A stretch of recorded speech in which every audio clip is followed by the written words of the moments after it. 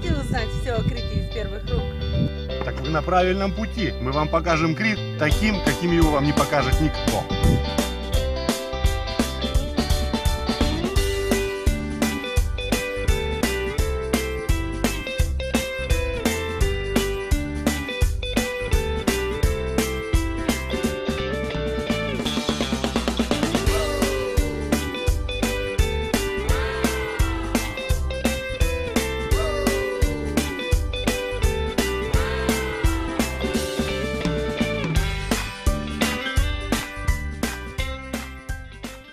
Дамы и господа, всем огромный привет с ночного предпасхального Крита. Мы с Эльвирой и Аленой поднялись на крышу, потому что здесь будет интереснее всего. Без 13, 12 ночи. Надеюсь, слышно литургию, которая идет в прямой трансляции с мобильного телефона Алены. Вокруг тишина, просто сумасшедшая тишина, хотя должны уже взрываться петарды – в преддверии праздника. Необычная Пасха в этом году. Вообще необычная. У всех. Да, причем у всех, да. У всего православного мира. О, пошли фейерверки. О.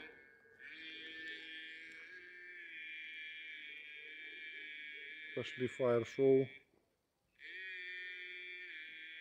Блин, у меня сейчас прервется. Хоть празднование и перенесли, а все равно народ празднует так, как привык праздновать. Где? Со всех сторон стрельба идет. Везде салютует кто чем может, кто чем запасся. А мы ничем не запаслись, елки-палки. Не подумали вообще. Сейчас бы устроили фейерверк. О, пошел салют. Вижу, вижу, вижу.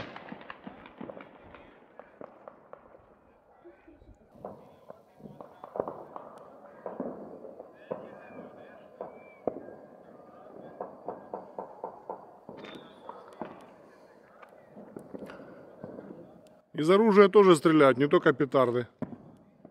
В горах стрельба идет из оружия. В городе, в городе салютуют фейерверками, а в горах идет стрельба из оружия. Там свои фейерверки.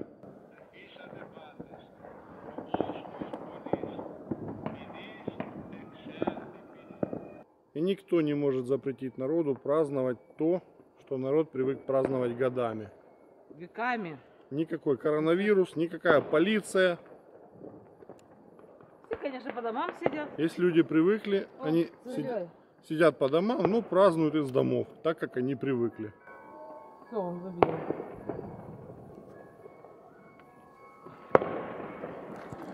И мы тоже празднуем. Пусть не в церкви, пусть на крыше. Но мы тоже празднуем. Все, Иисус воскрес. Воистину, воскрес. Три раза. Христос воскрес, папа.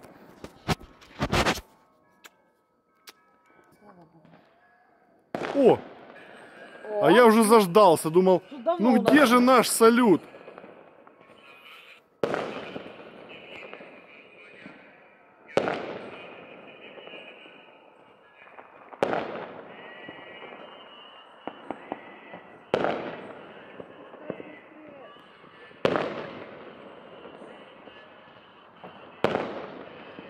Это салют уже у нас на пляже, на Аге Апостоле. Христос воскресе. Воистину воскресе. Ну что, пойдем разговляться? А как же? Пора уже. Идем разговляться. Алена говорит, как сектанты. Эльвира Хайдарова, видите там. Я замыкающая. Христос анести некрон.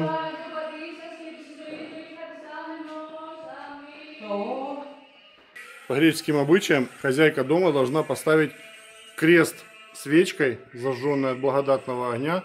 Над входом в дом должна поставить вот такой вот крест. Все, теперь можно заходить в дом. Маркиза первая зашла. Ну, как положено, кошка первая заходит.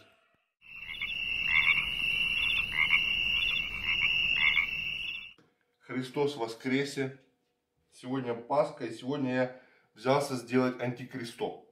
Многие, наверное, знают, что это такое антикристо, но те, кто не знает, скажу, это мясо, приготовленное на огне, именно на огне, на открытом, не на углях и не в печи, а именно на огне. То есть должен быть открытый огонь, поэтому оно так и называется антикристо, то есть э, напротив не, э, закрытого огня. Вот так вот. Для антикристо, с- что самое главное? Самое главное должно быть хорошее мясо, желательно жирное, баранина, именно баранина. И соль, и все. И очень важно правильно его разделать, что я делать не умею. Поэтому я разделал его по-своему, насадил на шампура по-своему. Главный принцип, чтобы это мясо было тонким слоем, чтобы оно хорошо пропеклось на огне. И, и все. Вот то, что я пытаюсь сейчас сделать. Сейчас я его тонко нанизаю, пойду разжигать огонь, посолю это все. Ну вот, я нанизал одну часть. Оно так получилось. Вот. Ну, в принципе, в принципе, вот это еще, наверное, я отрежу и нанизаю отдельно, потому что боюсь, что здесь не пропечется. Это уже нормально. Вот это можно нанизывать уже как есть. Вообще, конечно, горцы это делают очень красиво. Они барана фигачат на 4 части целого барана. И у них получается 4 куска, 4 шампура всего. Вот. Ну, я так делать не умею. Это профессионализм, которому они там учатся с рождения, учатся годами. Мы сделаем по-нашему. То, что, то, что есть, то есть. Все, сейчас солю и идем разжигать огонь. Да, и соль должна быть обязательно, как говорят, опять же, горцы, должна быть обязательно крупная соль. Почему-то. У нас крупной соли нету, поэтому мы солим, опять же, тем, что есть, то есть мелкой солью. А еще, если соль не прилипает, если мясо высохшее и соль не прилипает, то мясо можно сбрызнуть водой или вином. Ну, это уже кто как, кто, кто на что гораст.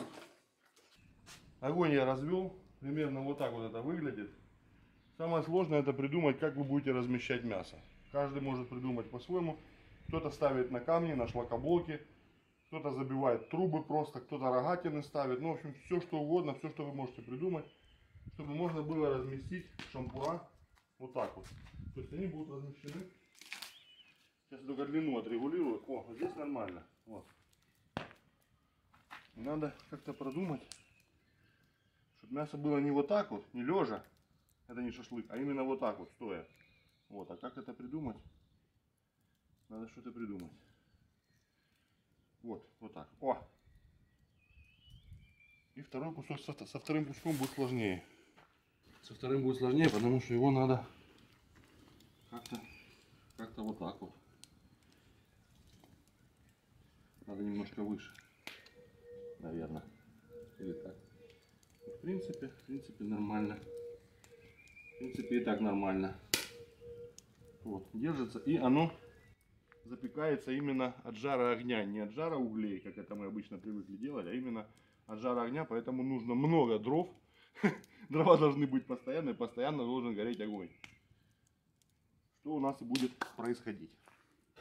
И как говорят знающие люди, критяне, мясо должно переворачиваться один раз.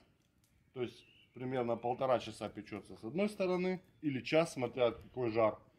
И некоторые вообще два с половиной часа пекут с одной стороны, потом два с половиной часа с другой. Но это очень длительно, конечно. И это, наверное, старый баран. У нас барашек молодой, поэтому я думаю, час, наверное, с одной стороны, полтора максимум. И потом один раз только разворачиваем, и потом столько же с другой стороны, и все, мясо должно быть готово. Попробуем, это мое, мое первое антикресто, не знаю, как оно получится. Я думаю, что сырое мы есть точно не будем. Как-нибудь мы его пожарим, как-нибудь получится. Антикресто на Крите готовят только мужчины, а корни этого рецепта прослеживаются еще со времен Гомера. Эта техника приготовления мяса использовалась военными в древние времена. Воины насаживали куски мяса на копья и жарили его. Сейчас этот рецепт очень популярен у критских пастухов, поскольку не нужна никакая кухонная утварь. Нужно мясо, соль и огонь. После забоя животного тушка делилась на четыре части, которые назывались гулидия. Каждый гулидий идет на отдельный вертел. Размещение мяса напротив огня можно назвать одним словом – антикреста. Многие ищут связь с Антихристом. Ее нет. Некоторые еще называют этот способ готовки офто, что в принципе одно и то же.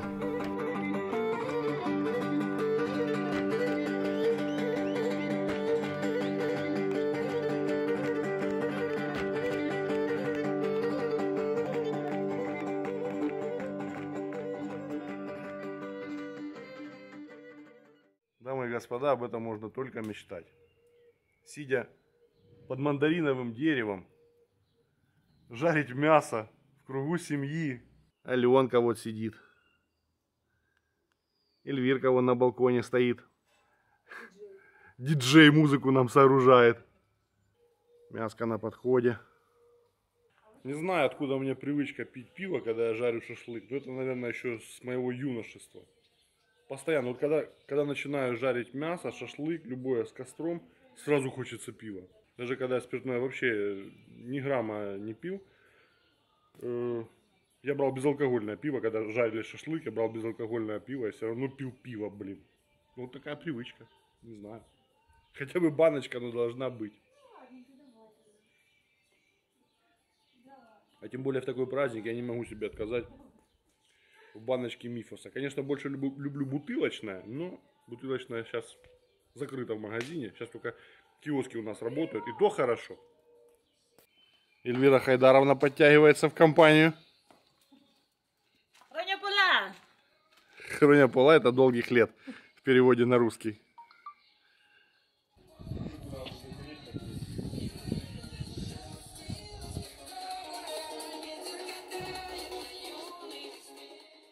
Песня играет нашей молодости. Эльвира включила авторадио.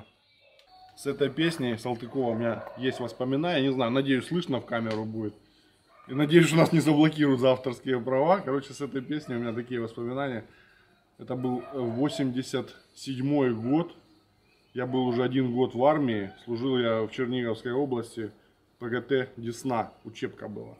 И мы шли на полигон. У меня было такое радио маленькое в руке. Ну, чтобы не скучно было ходить. 12 километров надо было идти на полигон. И играла вот эта музыка. Мороз, градусов, наверное, минус 20. Весь наш взвод идет в этих телогрейках. Жарко невозможно, потому что все это пешком. Играет эта музыка в морозной тишине. И весь взвод. Белая ночь опустилась, как облако. Вообще, это ну, вот такие воспоминания. Это было круто. Эльвира Хайдаровна, что там у нас на кухне? Что у нас с гарниром? У нас сегодня картошка, запеченная в духовке, очень вкусная, ароматная. И если у нас еще салатик мы сделали. Картошка уже готова? Картошка готова, салатик готов. Осталось только бутербродики сделать с корочкой, которую нам привезли наши любимые подписчики. Ну, осталось только мяско. Ждем мяса. Мясо жарится, мясо в процессе. Ну, процесс долгий, конечно, не быстрый, но оно того стоит. Стоит, да.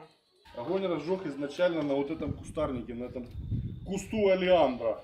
Или кусте, как правильно. И сразу не подумал вообще, что это алиандр. Уже начало гореть, а ну думаю, заодно и куст этот сожгу, чтобы он не разрастался, чтобы очистить место под огород же. А потом оно уже такое горит, ё-моё, это ж алиандр, он же ядовитый. Думаю, так потравимся все нафиг. Кстати, был такой случай, один критянин, когда турки здесь были, ну, мне местные рассказывали, когда турки были, один местный критянин говорит, ну, турков позвал, говорит, ребята, идите, я вас барашком угощу, зарезал барашка для них и нанизал на вот эти вот, ну, вот такие палки, только они от олеандра были, и на костре зажарил это мясо. К утру этого турецкого отряда не стало. Наелись мяска, запили венцом, и все. Вот такие дела. Олеандр очень, очень опасно. Вот этот сок, который внутри э, в этом самом, в ветках, он ну, очень токсичный. Поэтому не шутите с олеандром. Процесс идет, процесс жаркий идет. Уже жирок капает с мяса, уже начало зарумяниваться. Сейчас разжег посильнее. То, что я говорил, что огонь должен быть, должен гореть постоянно огонь, должен хорошо гореть. Ну, тогда мясо хорошо будет жариться.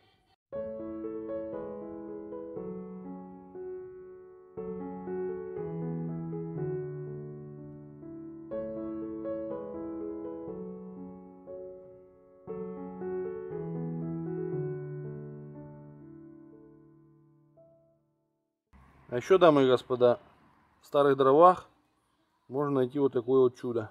Чудо называется скорпиончик. Они такие маленькие, но от этого, от того, что они маленькие, они не, не менее опасные.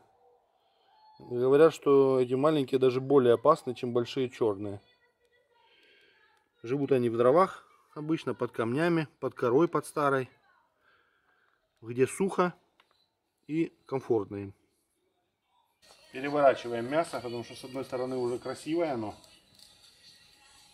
Как Эльвира говорит, хрустящая корочка. Сейчас надо его зафиксировать вот так, поэтому, поэтому тут мне поможет электрический ин- инструмент.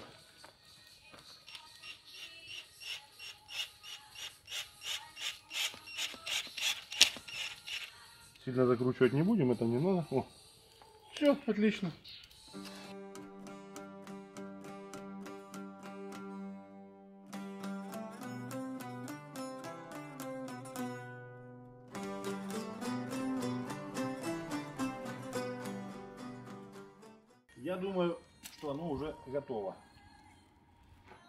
Вы как думаете?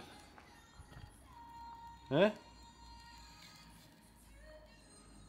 По внешнему виду оно готово уже на 150% даже. Даже не на 100. Ну, если будет где-то кусочек сыроватый, будем дожаривать. А что делать? Сейчас будем... Это мой первый раз, это мое первое антикресто. Сегодня Эльвира дегустатор. М, А? Оно? Мурля. Вкусно. Так это я взял... Это, Мягкое. это я взял сверху, там где огня вообще не было. Огонь был здесь и здесь. Давай, снимай, быстрее. Если отсюда хорошее, то значит оно везде давай, уже давай, хорошее. давай, Все? Кушать, кушать будем, да? Все, все. Все за стол. Держи тогда этот кусок.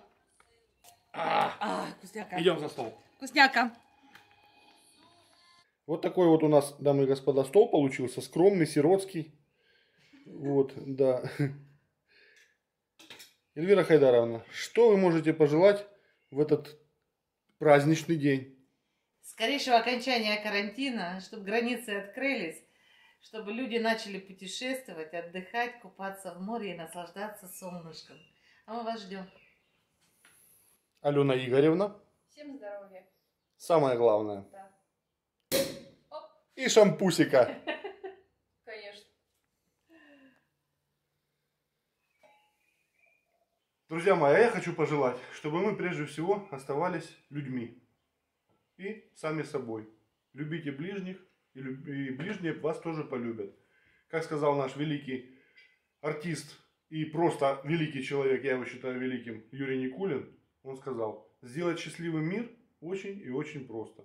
Надо сделать, для этого должен один человек, должен сделать счастливым еще одного человека. И никому не принести несчастье. И все, тогда весь мир будет счастлив. Постарайтесь. Ну что, Эльвир, как мясо? Хочу сказать, что антикресто удалось. Да, получилось? Очень вкусно. Так что будешь делать теперь антикресто. Добре з першого разу. Теперь же вы с меня не слезете, да? Будешь постоянно покупать баранину и гнать меня на задний двор. Да. Ну, а еще у нас на столе салатик такой с авокадо. Что за салат, Эльвир? Ассорти. Там все подряд? Да. То есть без рецепта намешала все подряд? Да. Я вижу авокадо, огурцы, помидоры, кукуруза, зелень, Перчик, перчик, да, перчик красненький, зелень, болгарский. оливковое масло. Ну и картошечка у нас. Картошка в духовке, кстати, тоже обалденная вообще. Она когда начала запекаться, мясо еще не было готово. Алена говорит, Эльвира, твоя кар- картошка пахнет вкуснее, чем мясо. Ну, уже остыло. Маркиза рядом с нами тоже. Тоже празднует. Мурзик куда-то свалил. Маркиза уже ждет. Да, Маркизон? Маркиза, ты моя девочка. Там под окном Проталина тонка И все, что недолго. Владимирский централ. Ветер северный Этапом исты